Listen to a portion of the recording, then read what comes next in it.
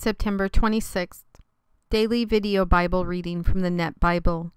Hebrews chapter 10 from the New Testament. For the law possesses a shadow of the good things to come, but not the reality itself, and is therefore completely unable, by the same sacrifices offered continually, year after year, to perfect those who come to worship.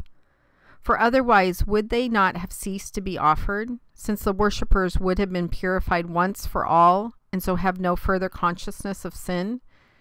But in those sacrifices there is a reminder of sins year after year.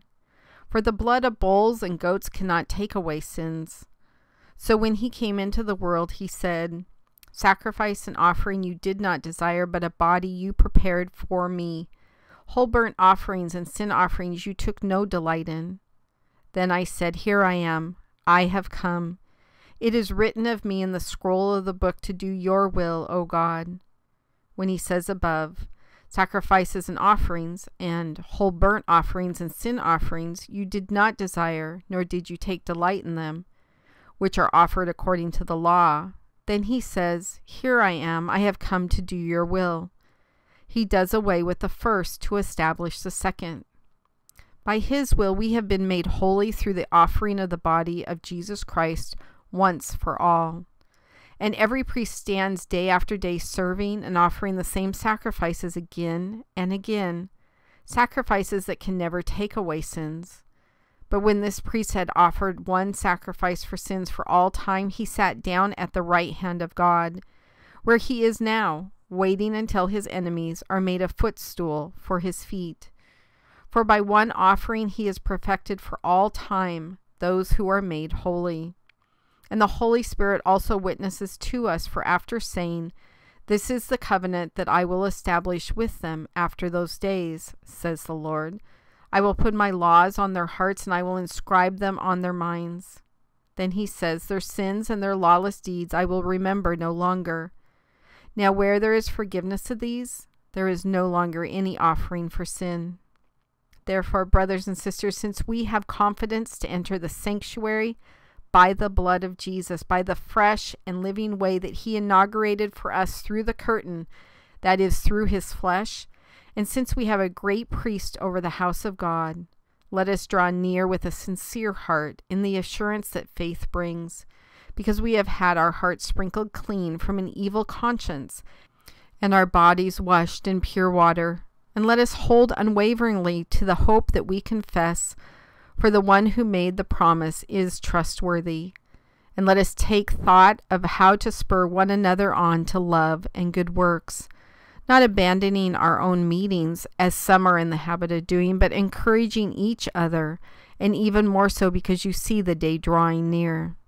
For if we deliberately keep on sinning after receiving the knowledge of the truth, no further sacrifice for sins is left for us, but only a certain, fearful expectation of judgment and a fury of fire that will consume God's enemies.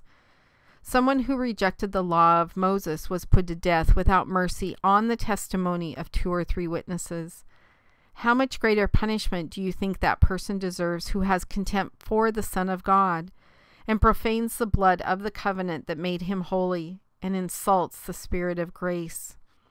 For we know the one who said, Vengeance is mine, I will repay, and again the Lord will judge his people. It is a terrifying thing to fall into the hands of the living God. But remember the former days when you endured a harsh conflict of suffering after you were enlightened. At times you were publicly exposed to abuse and afflictions, and at other times you came to share with others who were treated in that way. For in fact, you shared the sufferings of those in prison, and you accepted the confiscation of your belongings with joy, because you knew that you certainly had a better and lasting possession. So do not throw away your confidence, because it has great reward. For you need endurance in order to do God's will, and so receive what is promised for just a little longer, and he who is coming will arrive and not delay. But my righteous one will live by faith, and if he shrinks back, I take no pleasure in him. But we are not among those who shrink back and thus perish, but are among those who have faith and preserve their souls.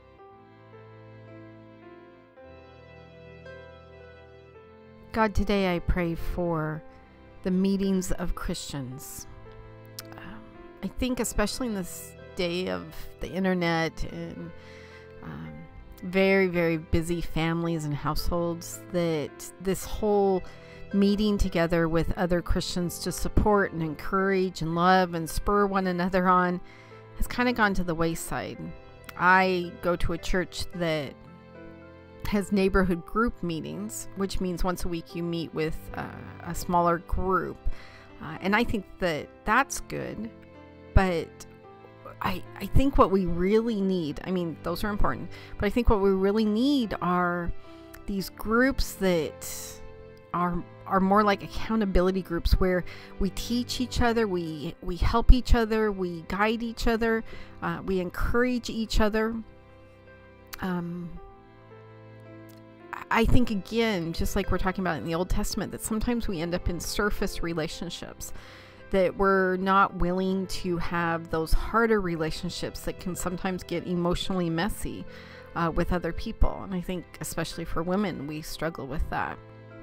So, God, I just pray for opportunities for people to meet outside of just Sunday church and they can delve deeper into your word, into a relationship with you, and deeper into relationships with each other. Because I know, especially doing this project, that sometimes when you are so incredibly isolated, you can sometimes get lost or lost multiple times without having a community around you to help you and guide you and hold you accountable to things.